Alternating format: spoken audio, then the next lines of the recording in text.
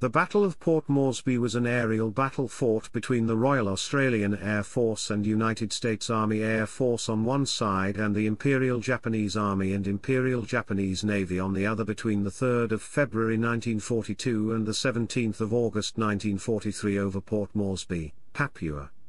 At the start, the defenders consisted only of Australian Army anti-aircraft batteries and machine guns, but by late March had been strengthened by the arrival of Kittyhawk fighters, from No. 75 Squadron RAAF.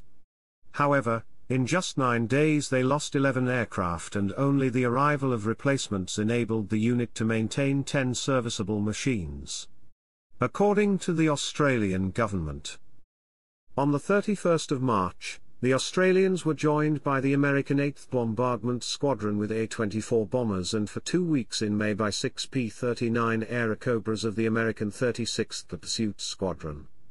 Despite the American assistance, the daily air battles over and around Port Moresby by the 1st of May had reduced No. 75 Squadron RAAF to just three airworthy machines.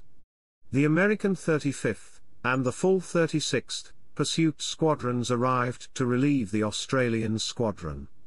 During their time in Port Moresby 75 Squadron, had lost 21 aircraft and 12 pilots. The Battle of the Coral Sea, which was fought mostly in the waters southeast of Papua in early May, diverted a Japanese naval attack against Port Moresby, and removed the immediate threat. However, by May 1942 the Japanese had established themselves in the arc of islands north and east of the island of New Guinea as well as in the region around Lae and Madang on the north coast of the mainland.